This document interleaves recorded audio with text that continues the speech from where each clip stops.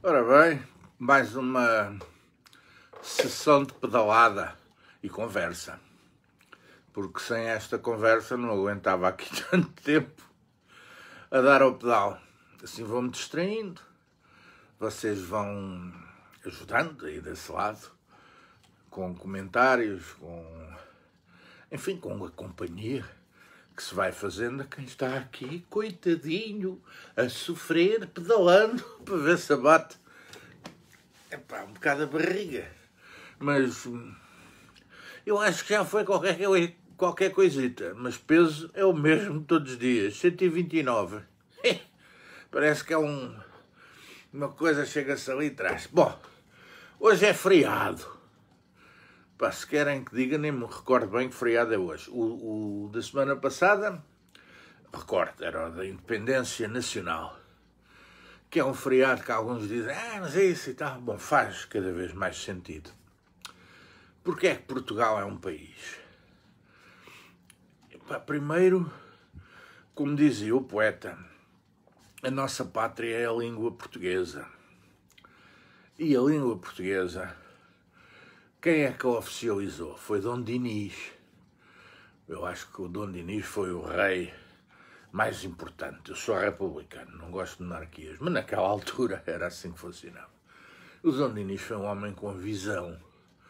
Pelo menos aquilo que fica dele, a gente sabe que os historiadores escreviam apenas aquilo que os reis queriam ou que gostavam de saber, mas também não podiam inventar assim muita coisa.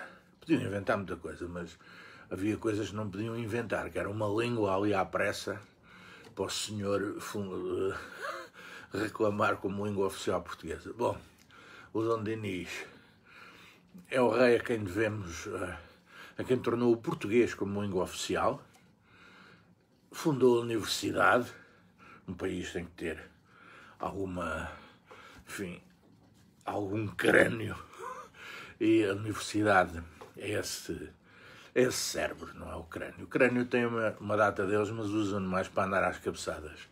Uh, o cérebro e massa cinzenta, a universidade. E, e pronto, e, e, foi o, o, avanço das águas foi travado por, uh, enfim, ele se calhar não acordou de manhã e não se lembrou daquilo. Foi, deve ter sido aconselhado mas há pessoas, por mais aconselhadas que sejam, só dizem e fazem é disparates. Eu acho o Dom Dinis um rei, um rei engraçado. Por acaso há aqui em Sintra um palácio, que é o Palácio da Regaleira. O Palácio da Regaleira tem lá uma sala onde estão os reis, todos pintados, desde o Dom Afonso Henriques. Uh, o último, Dom Manuel II, e estão assim à volta. Um dia que à volta na parede em cima estão as, as caras de todos eles, os quadros de todos eles. Um dia que visitem a regaleira, quando chegarem a essa sala, a regaleira é um palácio que foi construído sobre a simbologia maçónica. Tem um poço iniciático, tem tudo o que lá está. É bom visitar a regaleira acompanhado por alguém que perceba desse simbolismo. Uh, eu tive a, a, sorte de visitar a regaleira acompanhado por um senhor que é, eu não sei se ele quer que se diga o nome, portanto não digo. É um senhor muito conhecido e que é mais a pessoa em Portugal que eu acho que deve ser. É das pessoas em Portugal, das pessoas, porque há várias, que percebe muito daquilo, dessa simbologia. Uh, e uma das coisas, porque a gente vai lá, olha, se ninguém nos chamar a atenção, não damos por isso. Uma das coisas é que os reis ou estão de perfil, ou estão assim, ou estão assim, ou estão menos assim, mais assim, completamente de, de lado. O único, o único que está olhado frente para nós, adivinhem lá quem é. Exatamente, é o rei de quem estamos a falar é o Dom Dinis. E isso tem um símbolo, tem. Foi o único que viu ali completamente em frente e que abriu os caminhos a Portugal. Um, para Portugal ser um país como deve ser. E, como eu disse, uh, foi ele que tornou a língua portuguesa a língua oficial de Portugal e não o que nós falávamos, que era uma coisa. O que nós começámos por falar e que deu origem a isto. Aqui há uns anos, há mais de 15 seguramente, andei, fui às Astúrias de carro, gosto de passear de automóvel, fui às Astúrias e aos picos da Europa, coisa impressionante, e depois vim por aquela costa norte de Espanha, por ali fora, e tal, e até à Galiza, e fiquei numa pousada, numa pousada já na Galiza, numa pousada na Galiza. E o senhor que estava na recepção, a pousada tinha uma coisa muito interessante, que era os pratos tradicionais que serviam no restaurante da pousada tinham ao lado um resumo histórico de como é que esse prato, como é que se chegou, como é que se apurou para chegar àquele prato. Ou seja, o menu da pousada tinha história, que é uma coisa que cá se podia fazer. Muito. Principalmente, principalmente quer dizer, com todos. Mas recordo-me, por exemplo, da comida alentejana.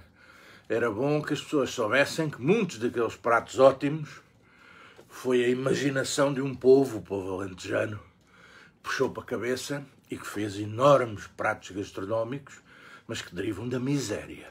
Não haver mais nada para comer a não ser um bocadinho de pão, um fio de azeite, água, coentros, enfim. Vamos falar de coisas mais alegres, porque hoje uma sorda alentejana é uma coisa alegre.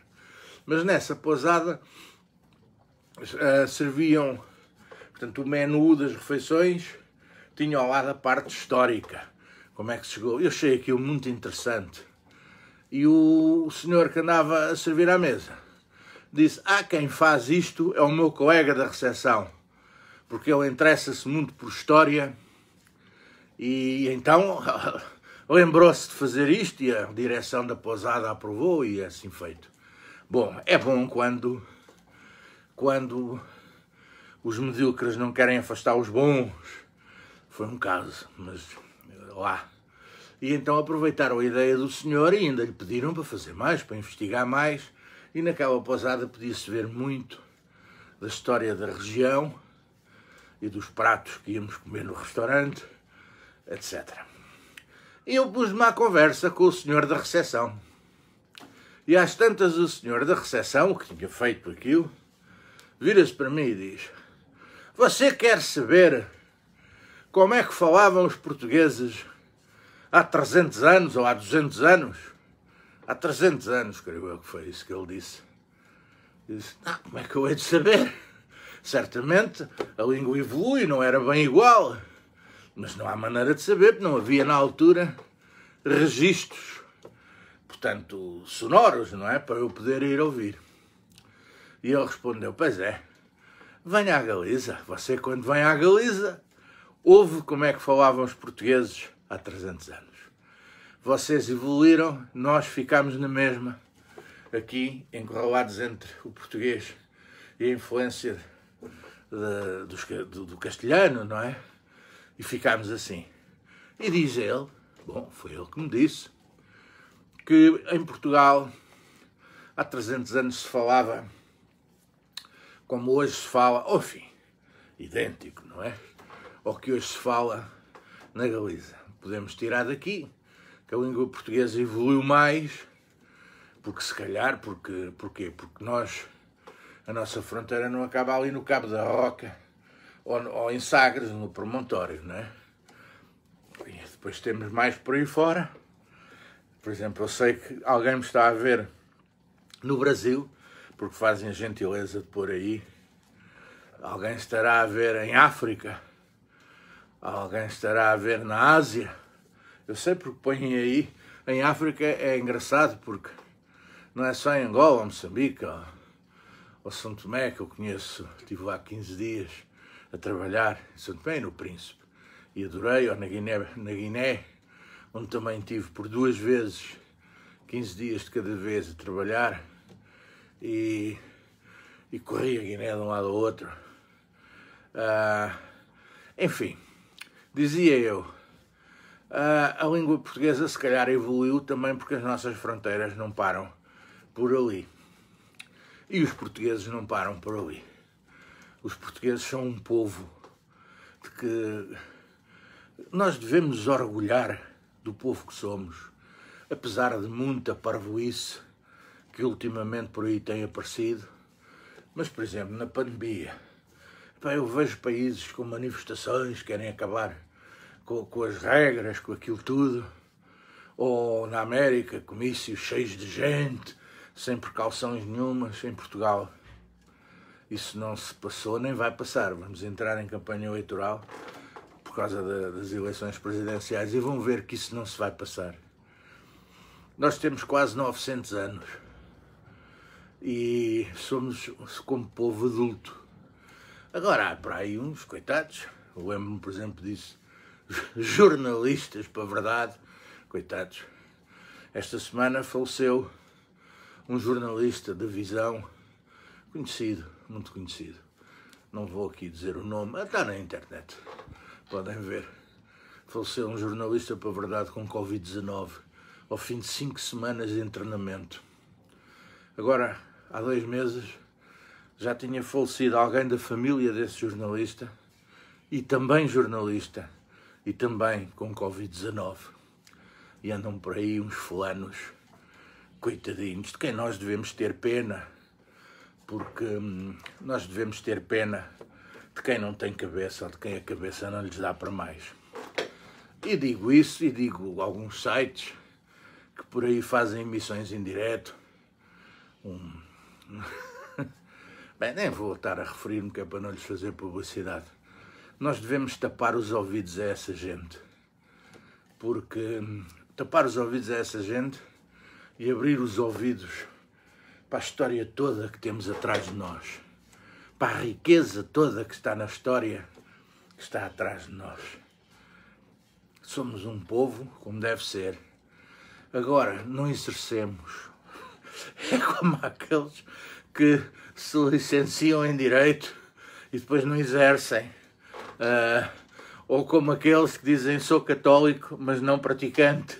Uh, e nós somos um povo maduro com uma história ótima, com todas as hipóteses de sermos um grande povo, mas não estamos a exercer, não estamos a praticar. E isso é que é pena. Mas só nos falta isso. E para praticar isso, devíamos começar por saber escolher aqueles que, que devem tomar os destinos do país. Uh, eu não me estou a referir às eleições presidenciais, porque eu acho que hum, ainda não está mal, ainda não é altura para isso. Uh, ainda não é altura para isso. Mas o mal do país não tem vindo daí. Tem vindo mais dos governos e, das e daqueles que nós deixamos que nos governem. Uh, tem vindo mais dos gestores e da justiça Aí é que vem o mal, vem da, mal, o mal vem dos gestores, da banca, mas não é dos bancários, é dos banqueiros, porque aqueles que lá trabalham não têm culpa. Têm culpa aqueles que a dirigem. O mal do nosso país vem dessa gente, dos banqueiros, dos gestores, da justiça, principalmente destes três, destes três setores que têm feito do país uma coisa terrível. E também dos políticos. Porque há políticos que só governam a favor da banca e dos grandes gestores, das grandes empresas, etc. E infelizmente esses políticos não chegam ao, ao poder com os votos apenas dos banqueiros e dos gestores. Esses políticos chegam ao poder com os votos do povo. Portanto, o povo português falta-lhe essa parte. Falta-lhe distinguir o trigo do joio. e, e aprender que o joio pode estar muito mais caro do que o trigo, mas muito mais caro. O joio está em pessoas com muito dinheiro e muito poder. Nunca está no povo. Por isso é que quando aparecem uns rapazinhos armados em galos garnizé e que até têm votos para, para, para ser eleito para a Assembleia da República, dizer que o mal do país está nos desgraçados, que a maioria, coitados, eu tiro os desgraçados, não é os desgraçados. Eu peço desculpa por esta palavra e até, que faço já marcha atrás para dizer a maioria das pessoas que tiveram a pouca sorte de ter que recorrer ao rendimento mínimo ou aqueles que nasceram como nascem, ninguém escolhe onde nasce. Nem esse Garnizé escolheu nascer com a hipótese de estudar e tal. Não é? Não, não podia, esse Garnizé podia ter nascido numa tenda, algures no meio do Alentejo. Podia, e se calhar pensava de outra maneira. Porque nós, o ser humano, é aquilo que é e as circunstâncias daquilo que o rodeia. E essa gente não tem cabeça, não tem cérebro para pensar. Ou oh, tem, mas como são grandes oportunistas, gente que não se importa nada com o próximo, são egocentristas, só se vêem eles próprios. Vão ver o que é que dá mais votos e depois vá de seguir esse caminho para ter votos. É preciso que o povo perceba que a culpa não é de minorias, a culpa não é de quem tem um problema na vida e tem que recorrer ao rendimento mínimo. Ai, alguns depois não fazem mais que não querem. Eu às vezes ouço umas pessoas dizer isso. É pá, haverá, claro. Deve haver. Mas os senhores não sabem uma coisa. É que dentro de alguns anos, e se calhar não são muitos, se calhar aqueles que hoje estão a nascer ainda vão viver nesse tempo. A pessoa, quando nascer, vai ter logo direito a um rendimento mínimo, porque senão morre à fome. Porque durante toda a vida nunca vai conseguir um emprego. Pensem nisto, neste dia de feriado. Acho que é um feriado católico, não é? É, é católico. Uh, pensem nisto e pensem como é que nós podemos resolver o assunto. É que a democracia é o único regime onde a gente pode perguntar a quem está, a quem está no poder se realmente é ele que lá deve estar ou se deve ser outro. E em qualquer altura a gente pode mudar pelo menos de 4 em 4 anos, aqui em Portugal, há eleições. E 4 anos também não é assim tanto tempo como isso. Se o país está assim, deve-se a dois factos. Um, a quem vota e vota nisto. E o outro, a quem não vota nas coisas como eles estão, mas fica em casa, sossegado, perante o aparecimento de, de ideias e de gente que vai levar o mundo para um abismo a seguir à pandemia. E eu, mais uma vez, quero recordar as palavras da atriz brasileira Fernanda Montenegro, hoje lembro-me do nome, em que ela disse: a seguir à gripe espanhola, foi em 1918, a seguir à gripe espanhola, apareceu Mussolini e o Hitler a seguir ao Covid-19, não vamos deixar que apareça gente tão baixa, tão reles, tão desumana como esses dois senhores e os milhões, atenção, os milhões que lhe deram votos para eles mandarem no destino dos seus países e depois, como já não lhes chegava, deitarem fronteiras abaixo e transformarem o mundo naquilo em que transformaram. Cabe-nos a nós não deixar que isso aconteça.